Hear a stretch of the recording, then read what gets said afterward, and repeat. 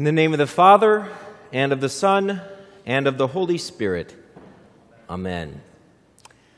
God's Word is creative and powerful. God's Word brings change. God's Word, when planted in the heart of a sinful human being, it can change that heart, turns it around. It rights its wrongs. It brings life where death once sat and puts forth growth where emptiness previously resided.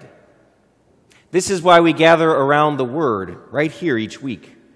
This is why we do well to read, mark, learn, and take to heart that Word throughout the week. But there are a number of different ways the human heart can react to God's Word.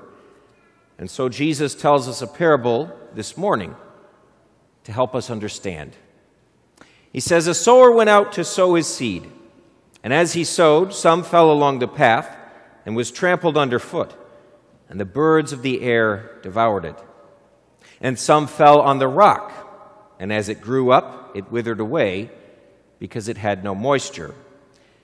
And some fell among the thorns, and the thorns grew up with it and choked it. And some fell into good soil and grew and yielded a hundredfold.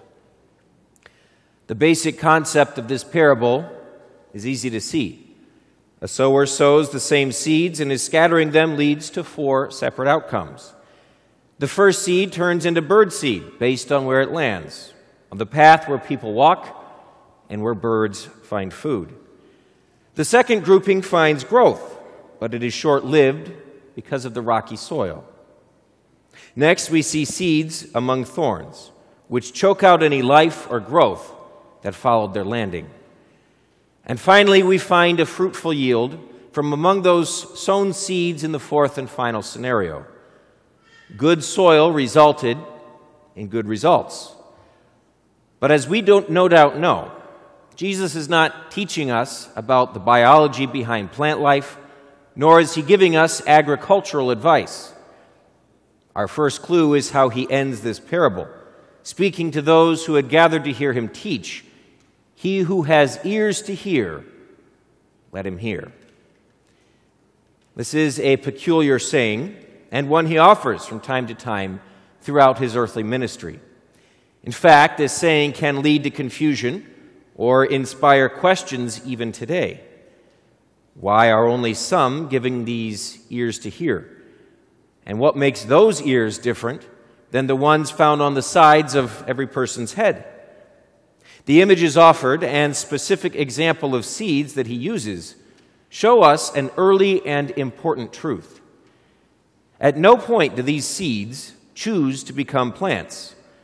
That is set by factors outside of their authority or ability.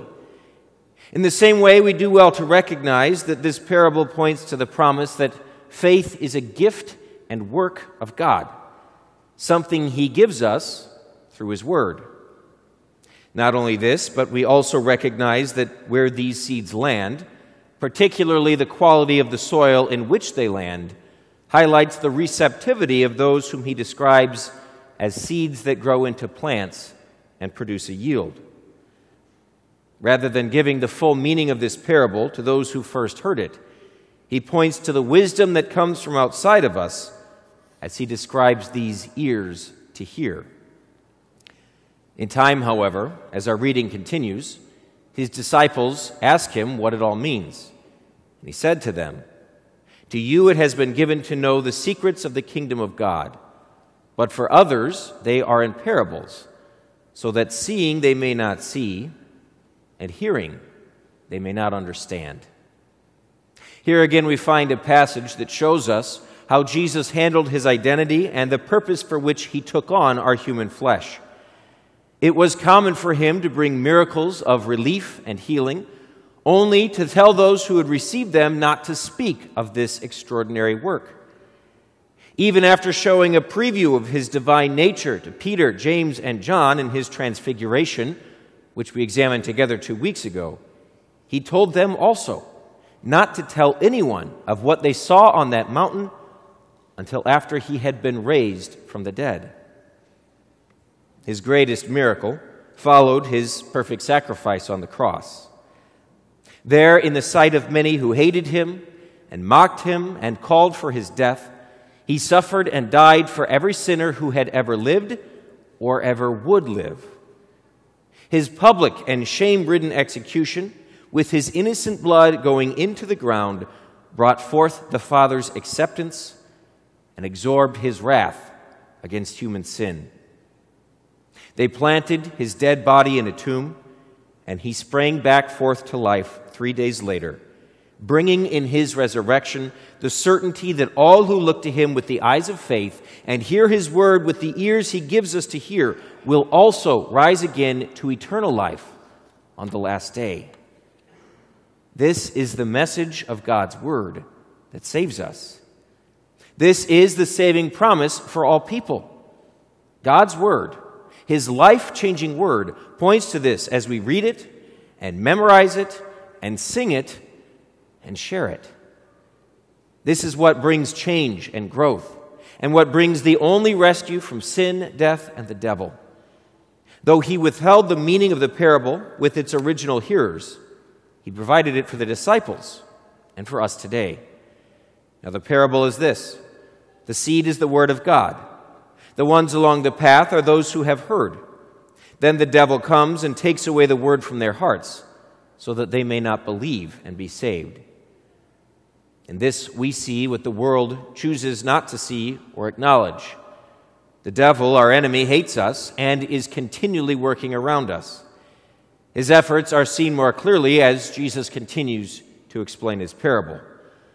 The ones on the rock are those who, when they hear the word, receive it with joy but these have no root. They believe for a while and in time of testing fall away. Well, thankfully, Jesus is speaking and offering this teaching to those who have ears to hear, but those who lived 2,000 years ago. This testing he describes, it must certainly have come and gone long ago before any of us were born or came to recognize the realities of the world around us. This testing that he speaks of in this parable, it couldn't be in the headlines even today and must not have anything to do with federal, state, or municipal governments forcing shutdowns or the altering of one's appearance and apparel before coming into God's very house to hear his word and to hold it fast. Of course not. And of course, this is but one test that we have all gone into together as a congregation and as God's believing people throughout this country and this world.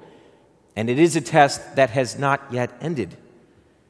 It has divided many people living among us, including those who once joined us regularly each week to hear God's word and receive the Lord's Supper. Testing can lead to failure and despair. Only God's word can lead us out of such sadness and danger. And there are many more types of tests that we encounter, as our own lives prove. At the end of our lives comes death, and it is something that many fear, but only those who do not look to Jesus Christ as its sole solution with the eyes of faith and the ears that hear his word. He continues, And as for what fell among the thorns, they are those who hear, but as they go on their way, they are choked by the cares and riches and pleasures of life, and their fruit does not mature. This description offers a glimpse into the lives of each of us here. Many of us at St. John's are far more comfortable than those who came before us. And yet we often find reasons to turn away from God's call to thankfulness and faithful service. When we experience perhaps even a slight feeling of uncomfort, it often draws our attention to itself and away from the Word. So, with these words, Jesus calls us to see all that He has given us and to look to Him as its source. Everything we have, including our many comforts, have first come from Him, and He gives them to us and calls us to give some of it back. This is why we gather an offering at each service in order that we might demonstrate our thankfulness to all He has given us and to confess our faith that He will continue to provide in times of comfort and discomfort. The generosity of those who came before us, giving sacrificially for the work of our congregation, is a good motivation for us to use well and for us to use what, we, what they gave and to further it for those who will follow us. The world mocks this, as it does all of God's word, and we stand against that mockery rather than being choked out by its thorny lies. Finally, Jesus concludes his explanation. As for that in the good soil, they are those who, hearing the word, hold it fast in an honest and good heart and bear fruit with patience.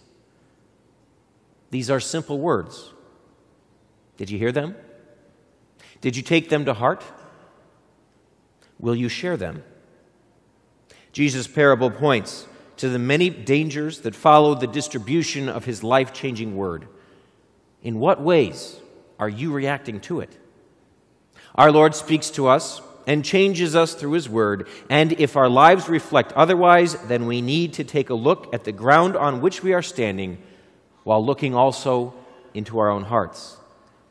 That heart will one day stop beating. And the giver of this parable is the only one who went through such an event and went on to overcome it himself. He shares his victory here each week in worship, and this promise is for all who hear his word and keep it bearing the fruit of repentance through the Spirit's guiding work. The seeds in Jesus' parable do not grow and produce outside of God's purpose or will. As Jesus clearly explains, the seed in this parable is the very Word of God. Unfortunately, while the church is given this important task of spreading that life changing word throughout all the world, it is not always received well.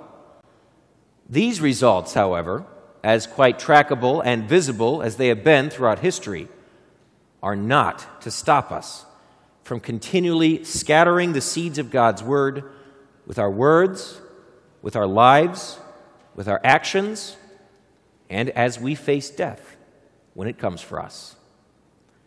Amen.